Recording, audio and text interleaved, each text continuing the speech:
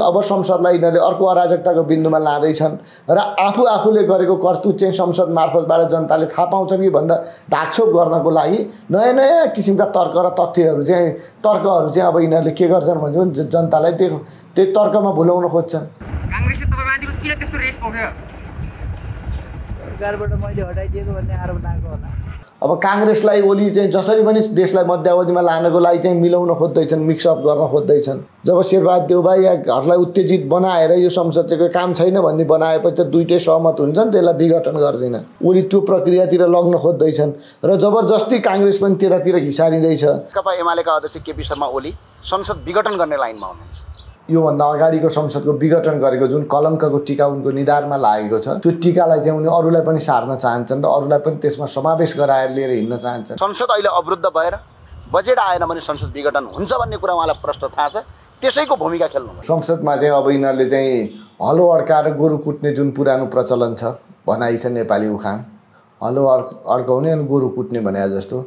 एउटा चिजमा अड्किसकेको छ संसद। अब समिति बन्दैन अब समिति त्यो बेलामा मात्र बन्छ जब जसले हाम्रो सभापतिको सम्बन्धित फाइल खोल्न माग गर्दैछ तपाईँको सभापतिको पनि फाइल खोल्नुहोस्। काङ्ग्रेसको सभापति शेरबहादुर देउबा र उनको परिवारको छानबिन गर्न समिति बन्छ या फाइल खोल्न तयार हुने भए हामी समिति बनाउँछौँ।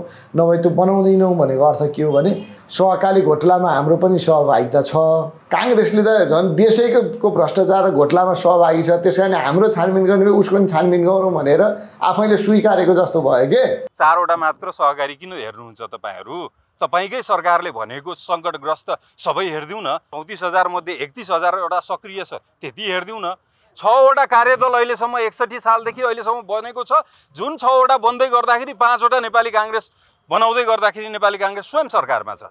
त्यसले त्यसले जुन रिकमेन्ड गरेको रिपोर्टहरू र उसको रिकमेन्डेसन त्यही अनुसार गरिदिउँ न। हलो अड्काए अब गोरु पड्काउन खोज्छन्। यो संसद यिनीहरूले तत्काल खोल्नेवाला छैन गिभ एन्ड टेक नमिलिकन। लेनदेनको कुरा नमिलिकन संसद खुल्दैन। पाँच सय बिघा भनेको पैँसठी सय रोपनी हुन्छ।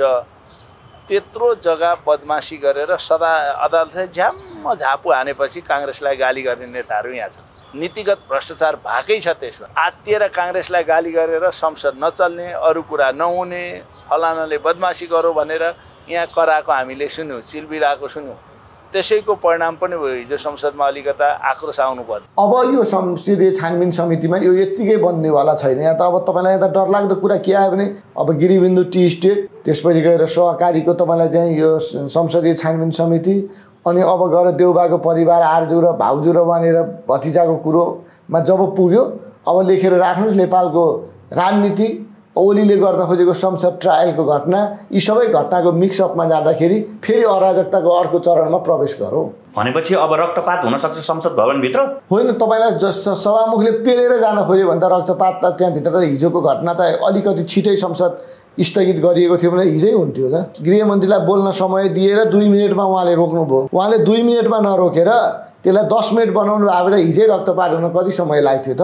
दुवै पक्षको धकला धक्कली भइसकेको थियो। हिजोकै तरिकाले सभामुखले चाहिँ एउटा गठबन्धनको मात्रै सभामुख भएको जसरी संसदलाई चाहिँ मुडभेदमा लाने तरिकाले जानुभयो भने संसदमा चाहिँ तपाईँलाई जे पनि हुनसक्छ सडकमा मात्र नारा लगाउने राप्रपाले संसदभित्रै नारा लगाएर राजा आऊ देश बचाऊ अराजकता अन्त्य गर भनेर।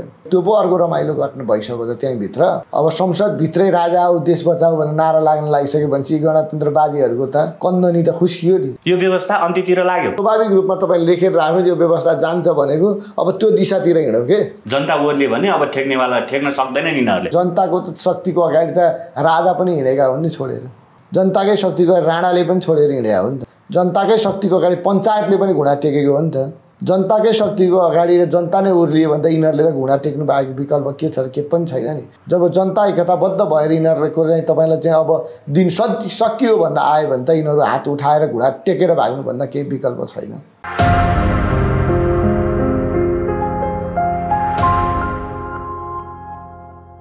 दर्शकबिन नमस्कार। पिएमटी खबर डट कमको यो नयाँ श्रृङ्खलामा तपाईँहरूलाई स्वागत छ। आज हामीसँग समसामयिक विषयवस्तुमा कुरा गर्नको लागि युवा विश्लेषक लक्ष्मण घिमिरेजी हाम्रो साथमा हुनुहुन्छ। लक्ष्मण सर स्वागत छ। धन्यवाद नमस्कार। हिजो संसद हेर्नुभयो? हेरेँ। कुटाकुटै पर्यो। ज- धन्न बाँचे ओली भन्दैछ नि त। होइन यसो खासमा तपाईँलाई मैले त अस्तिको एपिसोडमा पनि तपाईँलाई बताएको थिएँ होइन? ओली संसदमा चाहिँ तपाईँले संसद विघटनको लागि ट्रायल गर्दैछन् सत्ता पक्ष र प्रतिपक्षको बिचमा।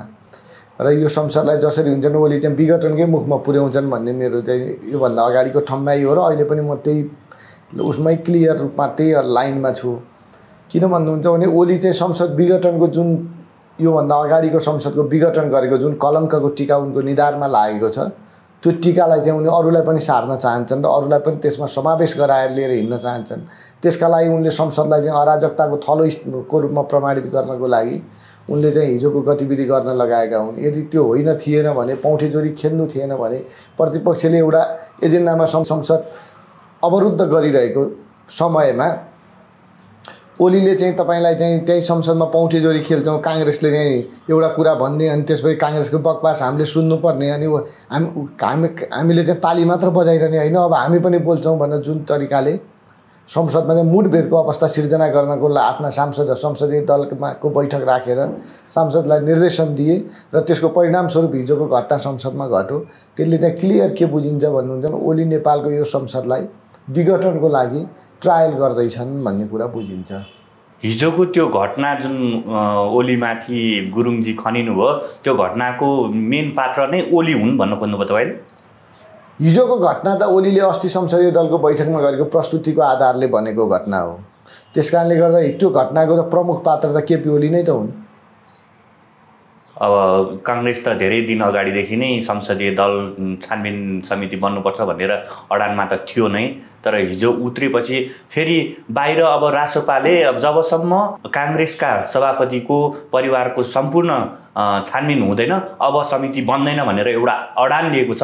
अब यसले चाहिँ कुन रूप लिएला होइन यस्तो भयो। यो त तपाईँलाई नेपालको संसद चाहिँ मैले तपाईँलाई अघि भने संसदमा चाहिँ अब यिनीहरूले चाहिँ हलो अड्काएर गोरु कुट्ने जुन पुरानो प्रचलन छ भनाइ छ नेपाली उखान हलो अड् अड्काउने अनि गोरु कुट्ने भने जस्तो एउटा चिजमा अड्किसकेको छ संसद। सहकारीको तपाईँलाई सन्दर्भमा छानबिन गर्ने एउटा संसदीय समिति नबनाइकन हुँदैन भनेर कङ्ग्रेसले भन्यो। त्यो समिति बनाउनुपर्छ भन्ने विषयमा चाहिँ अब तपाईँलाई चाहिँ रासोपाले चाहिँ यदि काङ्ग्रेसको सभापति शेरबहादुर देउवार उनको परिवारको छानबिन गर्न समिति बन्छ या फाइल खोल्न तयार हुने भए हामी समिति बनाउँछौँ नभए त्यो बनाउँदैनौँ भनेको अर्थ के हो भने सहकारी घोटालामा हाम्रो पनि सहभागिता छ। काङ्ग्रेसले त झन् देशैको को भ्रष्टाचार र घोटालामा सहभागी छ त्यस कारण हाम्रो छानबिन गर्ने उसको पनि छानबिन गरौँ भनेर आफैले स्वीकारेको जस्तो भयो के? पहिला उसको चाहिँ छानबिन गरौँ भनेको मतलब हामी पनि सहकारी बा- प- प- को पैसा हिनामिना गर्दामा हाम्रो संलग्नता छ। हाम्रो त्यसमा सहभागिता र हिस्सेदारी हो। हाम्रो छ छानबिन गर्छौँ भनेदेखि हामीभन्दा धेरै राष्ट्रमा ब्रह्मलुट गर्ने भ्रष्टाचार गर्ने देशलाई अराजकता बनाउने र राज्यको सम्पूर्ण निकाय कब्जा गर्ने चाहिँ काङ्ग्रेसको कोइराला परिवारको कोइराला परिवार भन्दा देउबा परिवारको चाहिँ सबभन्दा ठुलो हात छ। त्यस कारणले देउबा परिवारको पनि छानबिन हुनुपर्छ भन्दा आफूले आफैलाई दोषी करार गरेको जस्तो भएन र त्यो रासोपाको हिजोको त्यो जुन बैठकपछि रासोपाको त्यो उसले भनेको भनाइले सहप्रवक्ताले जुन सहप्रवक्ताले जुन कुरो भन्नुभयो त्यो कुराले त उहाँहरू आफै प्रकरणमा हामी चाहिँ तपाईँलाई चाहिँ यदि हामीलाई चाहिँ छानबिन समिति बनाउँदा हामी दोषी देखिन्छौँ। एकतर्फी किन हामी मात्रै हुने? काङ्ग्रेसको त तपाईँलाई त सभापतिको सिङ्गो परिवार पनि अरू धेरै भ्रष्टाचारको काण्डमा संलग्न छ। उनीहरूलाई पनि दोषी बनाउन त भने जस्तो भएन। हिजोको उहाँको भनाइअनुसार चारवटा मात्रै सहकारीको कुरा नगरौँ न भनेपछि चारवटा सहकारीमा चाहिँ हाम्रो सहभागिता छ भन्ने कुरा हाम्रो भन्नु- चारवटा सहकारीमा होला। या सहकारी प्रकरणमा हाम्रो संलग्नता होला। अरू धेरै भ्रष्टाचार प्रकरणमा तपाईँहरूको पनि संलग्नता छ नि त। त्यस कारणले तपाईँहरूको पनि छानबिन गरौँ न भन्नुको अर्थ हामी दुइटै चाहिँ। दुइटै चाहिँ तपाईँलाई चाहिँ के अरे दोषी हौँ भन्न खोजे होइन र आफूले आफूलाई स्वीकारेको जस्तो भएन त। भनेपछि अब यो यो हलो अड्कियो। अब यो संसद खुल्नेवाला छैन। यतिकै जान्छ। हलो अड्काए अब गोरु पड्काउन खोज्छन्। यो संसद यिनीहरूले तत्काल खोल्नेवाला छैन। गिभ एन्ड टेक नमिलिकन। लेनदेनको कुरा नमिलिकन संसद खुल्दैन। अब यसको विकल्प के हुनसक्छ त अब? विकल्प त तपाईँलाई यस्तो हो कि अब क- विकल्प भन्ने कुरै रहेन। छानबिन समिति बन्यो भनेदेखि रासोपाका सांसदहरूको तपाईँलाई बडी ल्याङ्ग्वेज उनीहरूको भनाइको कुरा सुन्दा पनि कहीँ न कहीँ हाम्रो सभापति संलग्न हो कि भन्ने कुरामा उनीहरूले आंशिक सत्यता देखिएको जस्तो बोलिसके। हिजो अलिअलि त्यो कुरा छनक त छनक आइसक्यो। अनि तपाईँलाई गएर कङ्ग्रेसले चाहिँ तपाईँलाई छानबिन समिति साँच्चीकै बनेर त्यसले छानबिनै गरिदियो भने काङ्ग्रेस एमालेका सांसद पनि बाँच्नेवाला छैनन्। यिनीहरू चाहिँ तपाईँलाई दुधले नुहाएका दुधले धोएका जस्ता सफा छैनन् क्लिन चिट पाउँदैनन्। यिनीहरूको संलग्नता पक्कै देखिन्छ किनभने सहकारी भनेकै अनियमितता गर्नको लागि यिनीहरूले स्थापित गरेको एउटा संस्था जस्तो बनाइसकेका छन्। होइन पहिलाका दुई तिनजना जुन देखेका छन् ती राजनीतिक दलसँग समावेश पनि थिए। सम्बद्ध थिए। सांसद भइसकेका मान्छे राजनीतिक दलमा लागेका मान्छे सबै देखिया छन् नि। त्यो प्रकरणले गर्दाखेरि हेर्नुहोस् अब यो संसदीय छानबिन समितिमा यो यत्तिकै बन्नेवाला छैन। यहाँ त अब तपाईँलाई यहाँ त डरलाग्दो कुरा के आयो भने गिरिबन्धु टी स्टेटको प्रकरणमा ओलीले तपाईँलाई कङ्ग्रेसतिर औँला बिघा बेचे शेरबहादुर देउवाले हिजै तात तातो के भनिदिए भने हामीले होइन ओलीले बेचिया हो आफै गर्ने अनि हामीलाई दोष लाउने भनेर शेरबहादुर देउवाले बोले। कहिल्यै नबोल्ने मान्छेले बोल्ने एक लाइन चाहिँ धेरै बोलिरहने महत्त्वपूर्ण हुन्छ। धेरै महत्त्वपूर्ण हुन्छ।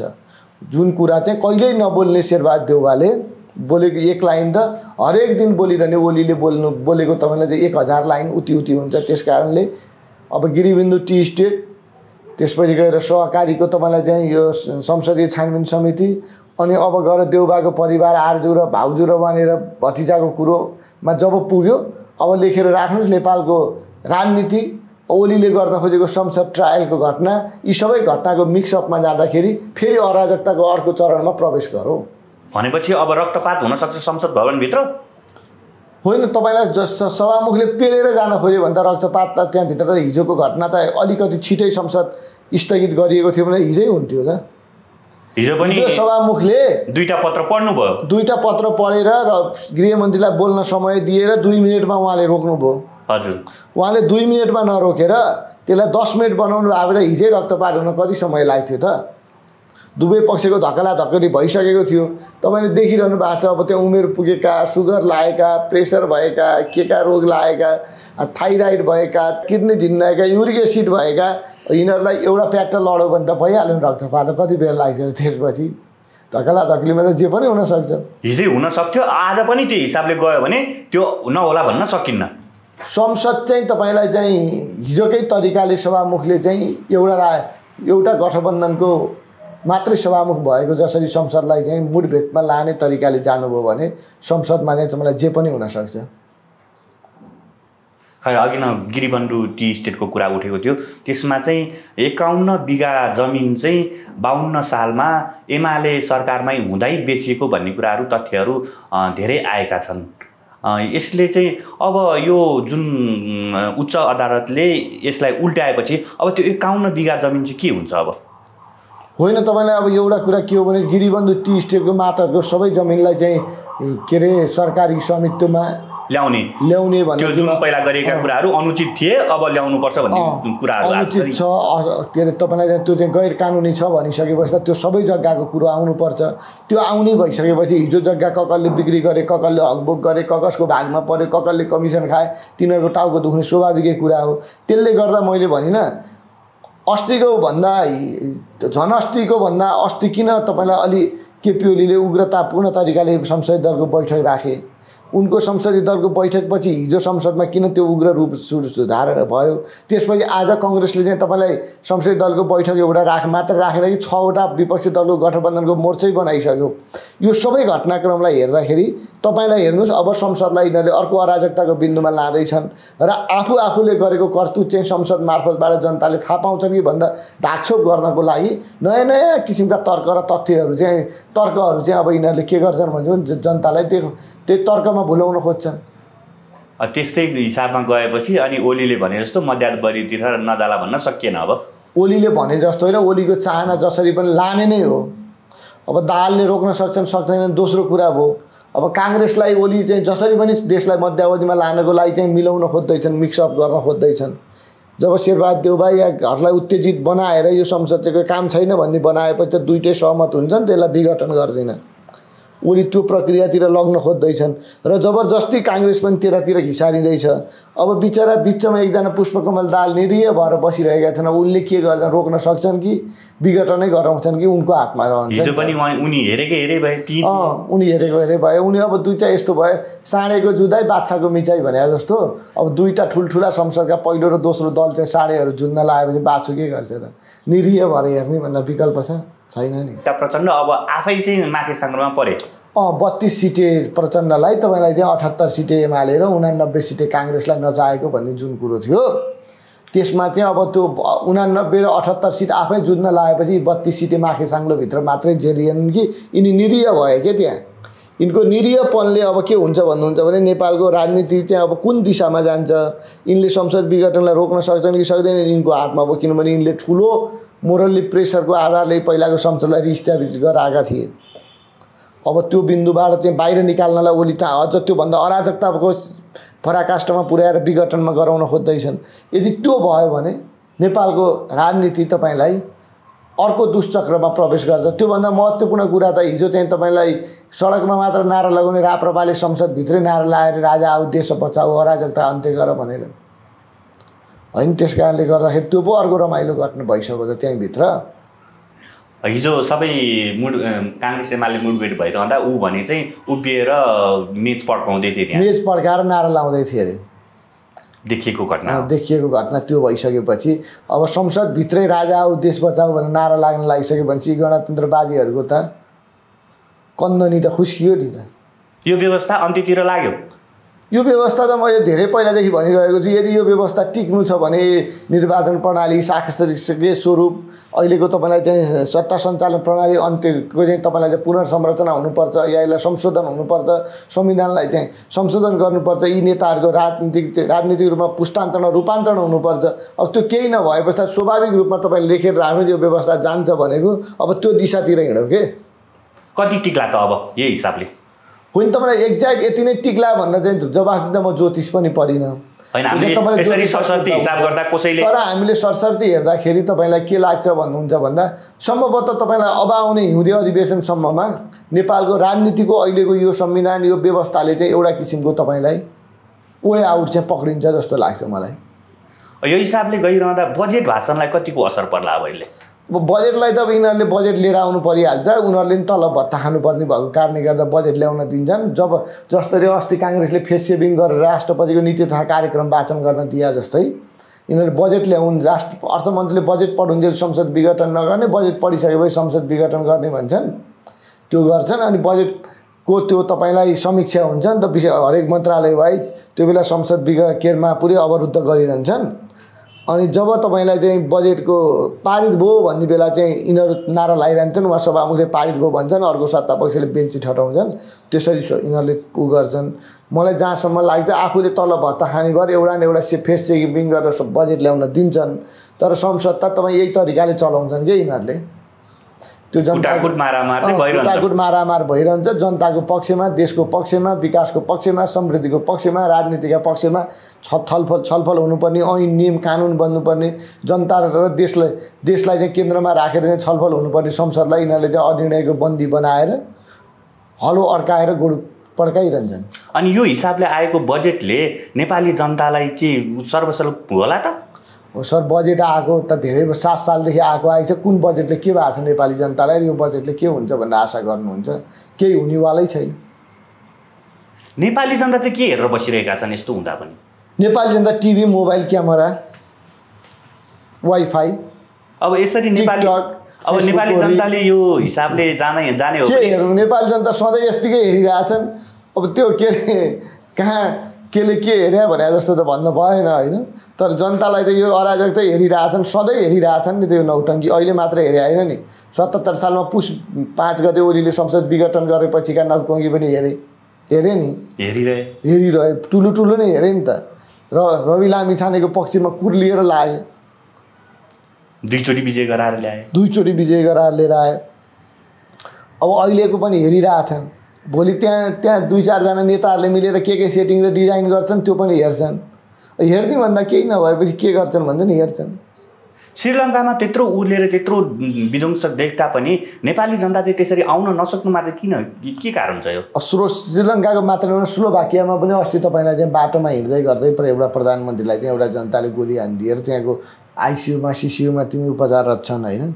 अब त्यो अवस्थामा चाहिँ पनि पुगिसक्यो। अब हाम्रो पनि यिनीहरूले सचे सचेनन् सचेत भएनन् भनेदेखि त भोलि तपाईँलाई नेपाली जनताले को धैर्यताको बाँध टुट्यो भने त के हुन्छ भन्ने कुरा भन्न सकिँदैन नि त। जनता ओर्ले भने अब ठेक्नेवाला ठेक्न सक्दैनन् यिनीहरूले। जनता ओर्लियो भन्दा कहाँ ठेक्न सकिन्छ त? कहिले पनि जनताको त शक्तिको अगाडि त राजा पनि हिँडेका हुन् नि छोडेर। जनताकै शक्तिको राणाले पनि छोडेर हिँडेका हो नि त। जनताकै शक्तिको अगाडि पञ्चायतले पनि घुँडा टेकेको हो नि त। जनताकै शक्तिको अगाडि र जनता नै उर्लियो भने त यिनीहरूले त घुँडा टेक्नु बाहेक विकल्प के छ त के पनि छैन नि। अन्तिम निर्णायक शक्ति भनेको त नेपाली जनता हो नि त। जो शक्तिको स्रोत छ त्यो त नेपाली जनतै हुन्। जनता नै हो स्रोत शक्तिको स्रोत। जब जनता एकताबद्ध भएर यिनीहरूको चाहिँ तपाईँलाई चाहिँ अब दिन सति सकियो भनेर आयो भने त यिनीहरू हात उठाएर घुँडा टेकेर भाग्नुभन्दा केही विकल्प छैन। खैर अब यो विषयवस्तुलाई नि थाँती थोरै सन्दीप लामिछानेको कुरा गरौँ। अस्ति जिल्ला अदालतले गरेको जुन निर्णय थियो सन्दीप लामिछाने बलात्कारी हुन् यिनलाई दोषी हुन् भनेर जुन कु- तोकेको थियो जिल्ला अदालत उच्च अदालतले जिल्ला अदालतको फैसलालाई उल्ट्याएर सन्दीप लामिछानेलाई निर्दोष अ, साबित गरिदियो। यो विषयलाई कसरी हेर्नु भएको छ? ठिक छ नेपालका एउटा खेलाडी हुन् होइन खेल खेलेर नाम चलाएका थिए। अब उनको नामबाट चाहिँ नेपालको नाम पनि काहीँ काहीँ चलेकै थियो। त्यत्तिको मान्छे चाहिँ आवेश उत्तेजनामा आएर चाहिँ तिनी चाहिँ खेल खेल्नुपर्ने मान्छे चाहिँ केन्यासँग क्रिकेट खेल्नुपर्ने मान्छे चाहिँ कन्यासँग खेल्न लागेछन्। अब त्यसलाई चाहिँ अदालतले नसिहत दियो। अब फेरि तिमी चाहिँ अब कन्याहरूसँग नखेल केन्यासँगै क्रिकेट खेल भनेर उच्च अदालतले उनको पक्षमा फैसला गरेको छ। अब उनी चाहिँ क्रिकेटै खेलुन्। अब चाहिँ कन्यासँग नखेल्दा केन्यालाई हराउँदै नेपाल फर्केर आउन्। त्यही नै शुभकामना दिउँ न हामीले। फेरि केही युवा युवती त हिजो माइती घर मण्डलामा गौशाला छब्बिसको पक्षमा हामी छौँ उच्च अदालतको न्याय हामी मान्दैनौँ भनेर प्ले कार्डसहित उर्लिन आयो नि त। के हो यो? सन्दीपको पक्षमा लागेर केहीले नाम कमाएको दाम कमाएको देख्यो अनि अर्कोको पक्षमा लाग्न मिल्छ एजेन्डा खोजिरहेछन् एटेन्सन सिकरहरूको जमाना हो यो। अहिले तपाईँलाई ठुलोदेखि सानोसम्म सबैलाई एटेन्सन सिकरहरू छन्। त्यही भएर एटेन्सन सिकर गर्न पाइन्छ एजेन्डा बाँकी छ भनेर आएका आउन दिनु न। माइती घरमा पहिलादेखि नै तपाईँलाई फुल माडिरहेछन् दुबो माडिरहेछन् यिनीहरूले नि मान्न दिनुहोस्। यसले केही लछार पाटो लाग्ने केही? लछार पछार लाउनेवाला छैन। के होला त? अब यो अझै सर्वोच्चमा जान सक्छ कि यो मुद्दा? यतिकै यहीँ सेलाउने हो अब। होइन यो त तपाईँलाई अब सरकारवादी मुद्दा भएकाले नेपाल सरकारले के गर्छ लिएर जान्छ होला पक्कै पनि होइन? अब त्यो दोस्रो पाटो भयो। तर सन्दीप लामिछाने एउटा खेलाडी भएको नाताले उनलाई जति आलोचना खोप्नुपर्ने जति तपाईँले चाहिँ के अरे सजाय पाउनुपर्ने जति उनले चाहिँ दुर्व्यवहार हुनुपर्ने भइसक्यो नि त। यसलाई नै एउटा नसिहत सोचेर उनले चाहिँ अब कन्यालाई नखेलाइकन केन्यासँग खेल खेलुन् भनिदिन शुभकामना दिउँ न तपाईँ हामी। तर यही हिसाबले सन्दीप लामिछानेलाई जुन हिसाबले निर्दोष साबित गरिदियो यसरी नै निर्दोष साबित गर्ने हो भने युवतीहरू जुन रूपमा तिरस्कृत जुन रूपमा परिरहेका छन् त्यसरी नजाला भन्न सकिँदैन भनेर जुन प्ले कार्ड लिएर आइरहेका छन् यो न्यायले चाहिँ के गर्छ अब? केही गर्दैन। यिनीहरू दुई चार दिन आफ्नो एटेन्सन सिकर हुन्छन् त्यसपछि आफ्नो आफ्नो घर जान्छन्। केही हुनेवालै छैन। केही हुँदैन अह। केही हुँदैन ढुक्क हुनुहोस्। यो कानुनप्रति चाहिँ सरकारले अलिकति हेर्नुपर्ने हो कि यसले चाहिँ महिलाहरूलाई धेरै अधिकार दिएको हो कि भन्ने जस्ता कुराहरू पनि निस्किए अस्तिको यो सन्दीप लामी छानेको मुद्दा जब फैसला भएको थिएन त्यति बेला चाहिँ यी कुरा निस्केको थियो। कि हामी साँच्चै कानुनमा एकचोटि हेर्नुपर्ने अवस्था आएको हो र? कानुन हेर्ने संसदको गति देख्नु भएको छैन के हेरिरहेछन्? यिनीहरू त आफै आफै लडिरहेछन्। हो, कानुन बनाउने। अनि अब त्यसले कानुन त्यस्तो बनाइरहेछ त अब बाहिरको त्यो संसदभित्रै सांसदहरू लडिरहेछन् सरकारभित्रै सरकार पक्ष लडिरहेछ र प्रतिपक्ष लडिरहेछ भने माइती घरमा तपाईँलाई चाहिँ गौशाला छब्बिस र सन्दीप पक्षहरू लड्दैन नि त लडिहाल्छन् नि। स्वाभाविक कुरा हो कि? अब तपाईँ हामी यतातिर लाग्यौँ भनेदेखि एजेन्डाबाट डाइभर्ट हुन्छ मुख्य कुरा के हो भन्नुहुन्छ भने सबैले आफ्नो उत्तरदायित्व जिम्मेवारी कर्तव्यबोध के हो भन्ने कुरा नजानेको हुनाले यो देशको गति भएको हो। सन्दीप लामिछानेले पनि केन्यासँग खेल खेल्नुपर्नेमा कन्यातिर लागेर बिग्रियो। नेताहरू देश बनाउनु पर्ने समृद्धि पर्नुपर्ने भ्रष्टाचार विरुद्ध लाग्नुपर्ने नेपाली जनतालाई देशमै रोजगारी दिनुपर्ने आर्थिक सामाजिक रूपान्तरण गर्नुपर्ने त्यतातिर नलाएर आफै कमाउन लागि देश ब्रह्म लुट गर्नको लागि लाग्यो त्यही भएर देशको गति यस्तो भयो। त्यस कारण यी यिनीहरूको यो जुन कम छ यो गलत छ यिनीहरू सबै आफ्नो ठाउँमा आउनुपर्छ भनेर तपाईँ हामीले चाहिँ आवाज बुलन्द गरेको हो। अब त्यही अनुसार सन्दीप लामिछानेलाई चाहिँ एउटा नसिहतसहित उच्च अदालतले जुन फैसला गरेको छ त्यो अब अदालतको फैसलालाई सम्मानित अदालतको फैसला तपाईँ हामीले स्वीकार्दै अब उनलाई खेल खेल्न दिनुपर्छ। अब उनलाई खेल्न दिनुपर्छ भनेर चाहिँ तपाईँलाई सडकमा आ भरा नारा जुलुस ला भरा केही केही मान्छे भाइरल भए हिट भए भने अब अर्को गौशाला छब्बिसको नाममा पनि आउँदा हामी त्यस्तै हुन्छौँ कि भनेर केही मान्छे आएका छन् तिनलाई तपाईँ हामीले किन हेर्ने? यो विषयवस्तुलाई यहीँ ठादिराखौँ यहीँ थाहा थियो यहाँ यो विषयवस्तु त्यस कारणले यतै छोडौँ। भोलिका दिनमा फेरि त्यो मुद्दा सर्वोच्चमा जाने सन्दीपले लाई फेरि सर्वोच्चले फैसला उल्टाउने या सन्दीपलाई फेरि फै फैसला जस्तो छ त्यस्तै गराउने उच्चकै निर्णयलाई सदर गराउने काम अदालतको कुरा हो। अदालतमा गएर बहस पैरवी गर्ने वकिलहरू छँदैछन्। सडकमा त्यही पक्ष र विपक्षमा नारा जुलुस गर्ने पनि के अरे उनीहरू दुइटाको फ्यान फ्लोरहरू छँदैछन्। त्यस कारणले गर्दा तपाईँ हामीले यो विषयलाई चाहिँ किन यति ठुलो सोच्नु पऱ्यो सोच्नुपर्ने कुरै छैन। जुन रूपले यो कानुन बनाउनु पर्नेहरू आफै आफैमा लुछाचुडी गरिरहेका छन् अब चौरासीमा भेटौँला भनेर हिजो गगनले चाहिँ पत्रकार सम्मेलन गरे। तपाईँहरू अहिले भागवन्डामा सरकार चलाउनुहोस् अब चौरासीमा भेटौँला भनेर पत्रकार सम्मेलनमा भन्नुभयो। यो भन्नुको तात्पर्य चाहिँ के हो? भन्नु उहाँले त यसो भन्नुभएको सरकार चलाउन हामीलाई रहर छैन चौरासीसम्म तपाईँहरू नै चलाउनुहोस् आलो पालो गर्नुहोस्। आलो पालो गर्नुहोस् बाँड्नुहोस् खानुहोस् के गर्नुहोस् लेनदेन गर्नुहोस् हामीलाई चाहिँदैन। हामी चाहिँ के अरे संसद अवरुद्ध गरिरहन्छौँ तपाईँहरूलाई काम गर्न दिँदैनौँ भनेको अर्थ चाहिँ हामीलाई भागभन्डा मिलेन भने हामी चाहिँ पनि छोड्दैनौँ भनिरहेको छन् नि त। भोलि उनको कथनी र करणी त त्यहीँ एक एक एकरूपता छैन नि त। उनको कथनी र करणी त त्यहीँ मिलेको छैन नि। कथनीमा उनी गर्दै रहेछन् संसद अवरुद्ध गरिरहेछन् प्रधानमन्त्री बन भनेको मान्छेले आफ्नो गठबन्धनमा बनेर यता आएर गृहमन्त्री बन्यो भनेर संसद अवरुद्ध गरिरहेछन् कथनीमा। करणीमा के गर्छन् भन्नुहुन्छ भनेदेखि यतापट्टि आएर चौरासीमा भेटौँला भन्दैछन् अनि उनको त कथनी र करणी मिलेन। त्यस कारणले यस्ता कुरामा पनि यो बकम फुसे कुरा हो कि के? काङ्ग्रेसको त कथनी र करणी मिल्दैन भन्ने जस्तो कुरा त हिजो राजसभाका सहप्रवक्ताले नि पाँचजना काङ्ग्रेसका सांसदहरू पानतिरबाट छिर्छन्। एउटाले एउटा कुरा गर्छन् एउटाले एउटा कुरा गर्छन्। एउटाको कुनै मुद्दा मिल्दैन। पहिला तपाईँहरू मिलेर आउनुहोस् अनि कुरा गर्नुहोस् भन्ने जस्तो पनि कुरा गरेका थिए। होइन त्यो यस्तो हो नि त। काङ्ग्रेसको चार पाँचवटा गुट छ। एउटा गुटले चाहिँ के अरे रविलाई बोल्न दिने अनि त्यसपछि संसदीय छानबिन समिति बनाउने भनेर सहमति गर्यो अरे। गऱ्यो होइन? शिखर कोइरालाले त भन्नुभयो त अस्ति देवाकै अगाडि। त्यो गृहमन्त्रीज्यूलाई बोल्न दिन्छौँ हामी अब बोल्नुहोस्। भनेर। भनेको त्यो शेखर गुटले त्यो गरेको अब देउबा गुटले मानेन अरे नमानेपछि अब उनीहरू पनि असमजस्यमतामा परे नि त। भएको कुरा त्यही हो। हस् समय र संवादका लागि धेरै हस् धन्यवाद। तपाईँ लगायत तपाईँको मिडियालाई।